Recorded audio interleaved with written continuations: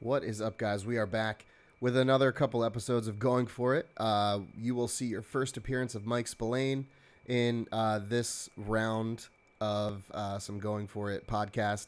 Uh, you'll also see a couple new segments I did with Craig. Uh, we called it Carry On Craig, where Craig kind of just gets on a soapbox and talks about whatever he wants, which is basically just the podcast, but uh, a little more a little more focused from Craig for a couple minutes. And in the pocket, which is a breakdown of the QBs in that division that we talk about in the offseason, just kind of how we feel about them, rank them, a lot of top fives, all that good stuff. So we have even a little bit of draft talk. So that is what we got going on in going for it at this time. Uh, you guys can hope to see some more content more regularly from us. As you can see, I got my setup finally ready to go. I'm repping my New York Giants. All of this stuff was recorded pre free agency and pr- like right after the JJ Watt signing. So we don't have anything super duper up to date, but I wanted to release it anyway so you guys could get our takes and see how we're feeling. Uh, that will be coming to a screen near you right now. Uh, Oh, speaking with Deshaun Watson, uh, Jeff Darlington of ESPN, when this was written on Friday, when our outline was written, Yeah. um, had said that the Bears had the biggest offer out for Deshaun Watson. Okay. I read today that a Chicago reporter has said that the Bears' number one priority this offseason is Russell Wilson. yeah. See, I, I also thought they were higher on Russ, and I I bought in. I, I started drinking the Kool Aid on the Ciara wants to be in Chicago, even though that hurt me because I, I felt like musically Miami would make more sense, but apparently she's got connections in Chicago and music is big there also. It would be so much better in Miami, though, for her. I agree, but the the people that were saying what they were saying seemed like Ciara had something in it. I mean, you met her. Can you give us any? Can you give us what you know? Did you say anything about wind? Maybe maybe she talked about the weather, and you could say windy, and you're like, oh, that's Chicago. Maybe it was real like sunny. So, as of two years ago, when I met Ciara and Russell Wilson, um, They had- updated data. No. Come on over. Going for it. We'll give Going you for it. old data. two years old information. Um, they were very big fans of Andretti and wanted franchising information. So maybe that's a Oh, interesting. Because I don't know if there are any in the north yet. I'm gonna put some credence in that. It's two years old. I mean, I can tell you for a fact that they asked for franchising information because I was standing there. yeah. That is a real thing they asked well, you could for. also know for a fact that they have the money. yes. Yeah. Although In- those in- buildings are not cheap. That's a that's No. a an eight figure building. He's on a nine figure contract. Yeah. So he's and that's like, part yeah, of the whatever. reason guys like him are tough to move. But I I think we're gonna be in a very interesting space. So we have what six, seven weeks until the draft, I think, or maybe it's seven and a half. Um, and boy, is it gonna be every city is gonna get talked about this until we know for sure, which we might not even draft day. Although I think if there's moves to be made, they need to be made no later than that Right. because you the, the teams lose all their credibility and might actually have holdouts to deal with. So let me ask this: Deshaun or Russ go to Chicago? Doesn't that feel like a downgrade as to where they are? Well, at least Russ for sure is a downgrade. Yeah. Deshaun feels almost like a lateral move. Maybe not in the win loss column, but in the tools I have around me. This is what surprises me about the the Bears being talked about big with both of them. Not a super great run franchise either. No, and it, it hurts me because I feel like Miami has better assets right now. My, I, that's my belief, but I could be homerism on it for sure. I agree that for Russ, almost anything's a downgrade just because he has some young pieces. He's got some interesting things, although we'll get to some of that uh, that I think could be hitting a little downswing.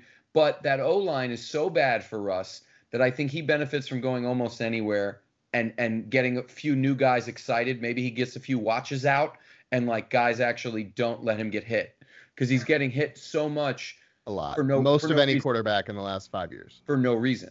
That Yeah. that's and th- that's got to be a part of where his frustration is. It's like you've done nothing to get me anything to cover my ass. I'll win you another Super Bowl if you just keep me on my feet. And that he's got the the stats the and the the credentials to prove that they're not doing it. So I'd like to see both of these guys move from their situation, but the Bears is I don't know, shocking, but the one thing we well, I'll, I won't say we because I'll say me, but I know you for a long time. One thing I always discount is like legacy teams and credibility of a franchise. I always discount it. I always do, but I think occasionally players don't. I think there's occasionally players that are like, no, I want to play there. I want my name next to XYZ. I want to move the needle for. I think as a fan, we almost never consider that. And I wonder if players ever think of like that moment of like, I. I'm going to live in Chicago for for an amount of years in my life, and I want my name on things. Well, I don't I guess the the benefit for Russ there would be I'm going to bring Chicago back to relevancy. Mhm. And then he's also head to head with Aaron Rodgers every every twice a year every year Oh yeah. for the next however long. And Hopefully that's. Sunday night football, that's Monday night football, that's constant, you know, yes. just eyes on you at all times. So, You, that's a very strong point. That's a very strong point because, boy, if what you're thinking, if and we we kind of know about Russ that he's a bit smart, and I don't mean it just as a quarterback. He does marketing deals. He does things. He uh, oh what is yeah. it? The, the the charity he does. They gave away so many meals last year, like millions and millions of meals. I think it was Feeding Harvest. That, that you'd have to. I'm I'm not sure the name of it, but awesome stuff. And he shows up in places, right? And that's interesting that you said it that way because what we're not really thinking about is what these guys are thinking for their next step.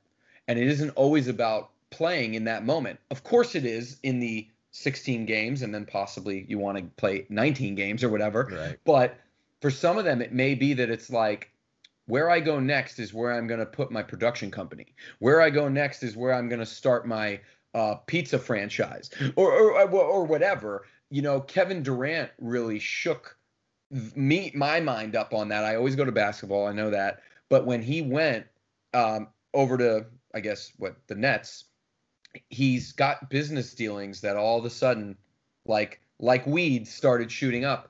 It makes sense. When LeBron went to LA, the timing was right. He's got Space Jam coming out. His production company is doing things. Is what we're seeing in football, and I know we'll get to this too, is that same kind of trajectory of players understanding who they are and their value. I I think I've been for years discounting that. I think it might matter. Yeah, I think that would be the the thing. Like Russ has even said in past interviews, he wants to be he wants to go down as a goat. He wants to go down as someone who changed the game. He wants to go down as one of the best players of this decade, bar none, hands down, hundred percent. And if you can bring the Chicago Bears back into a relevant place, then I would say if you can t- take a division title away from Aaron Rodgers, you, you're definitely off to a good start. Off to a That's good right. start. But I just don't know if Chicago has the pieces around him to be able to help him do that. But wh- to that point, we what we saw last year when Brady came, others showed up at a lower dollar amount. You put a guy like Russ or Deshaun on a new team, there are a few free agents, there are a few dudes that are like, I'm gonna follow the leader a little bit here, and there might be an opportunity to make some noise. So I think that I'm I'm I'm gonna be excited for all these moves, and I'm ready for them. Meaning, like, I would prefer moves for both because player happiness for me makes them better. Aaron Rodgers showed us that when his happiness and his personal happiness went up, he's out there slinging, baby. He's out there just making it happen. MVP season. If they're both upset, Deshaun and Russ, we're not going to get as football fans the best of it, and I'd love to see the best of what they're capable of because they're two of the top five. So I want to throw this in there too. I know it's it's a little further down in our outline, but with that, with all of the talk around Russ, especially Deshaun, I think we're both in the same. We're we're both in agreement that that that is done. Whether or not they trade him, he's never wearing a Houston Texans jersey ever I- again. I can't see it. I can't see it happening. Is the Russell Wilson relationship in Seattle fractured beyond repair? Will we ever see him as a Seattle Seahawk ever again? I don't think it's as bad as the uh, Deshaun situation because there wasn't the public kind of we're going to get you involved and then they didn't. Uh, Right. It seems to be a bit more on the private side. He wanted some say. Did what was it ever articulated properly? I mean, from the perspective of the things we're seeing, it sounds like he would have he might have said that. I don't know if he said it to a Carroll, he said it to ownership. I have no idea. Deshaun, it was very clear that the owner said something to him, said, I'll yes, I'll bring you in on this, and then just chose not to in either a power move or like the most costly, forgetful moment of that man's life. I think it was a power move and the wrong one, but that's just me. I don't think he just forgot. I think he said a thing and then didn't do it, thinking I don't need to do it.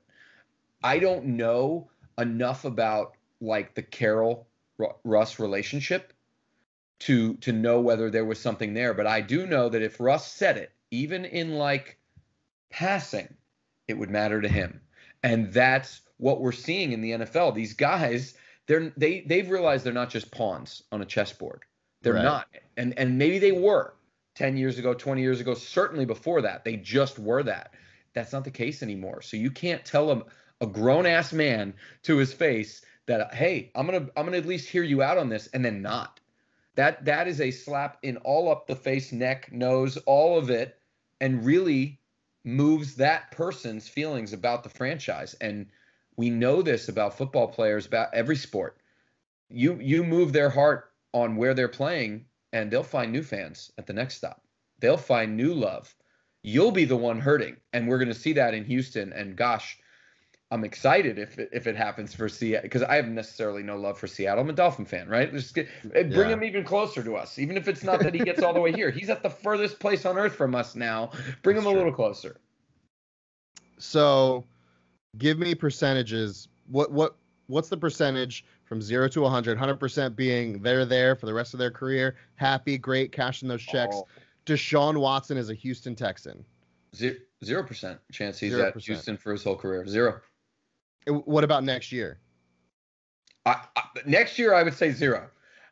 I'm a double zero. Here's why. I don't think he's showing up, even if it costs him the 20 mil. And then if they figured something out in reconciliation, he's gone after that contract. Gone. And with Russ, I would say we're at a coin flip, probably 50, 60% he's there next year. I would say very low, probably in the 10% he's there for his whole career. Well, and and so to close this out, I really think what what happened with this last Brady move was the thing that Peyton did first, and I would like that to be known. That that Mm, yes. switching of teams, getting a Super Bowl with another team, and adding to the legacy that way. Yes. Not being a like what Eli did, and I I will always have Hey, love in my heart for Eli. that. He was a career giant. He didn't want to go play anywhere else. He had offers to go somewhere Respect. else, and he was like, "Nah, if I'm not a giant, I don't want to be anywhere." And that's great. But I think Brady has shifted the narrative a little bit because he went and saw what Peyton did and said, "I'm going to do that too." And maybe he a little bit. He might better. one up him. Fast- yeah, he- faster he and might- better. he might one up him by doing it twice, but I think that changes the narrative for for players like Russ, who I got one in Seattle. Can I move somewhere? And Not only did he get one, they've done nothing for him on the protection side for years, multiple years. You said it yourself, most sacks in five years. That means multiple years. Yes, they added some flashy receivers, they added some things for him. Not enough. Chris Carson's great. Like I'm, I'm with that. Although he could, he's on the the move. uh, yeah, and to move as well. also very injury prone. Also very yes, injury. yes.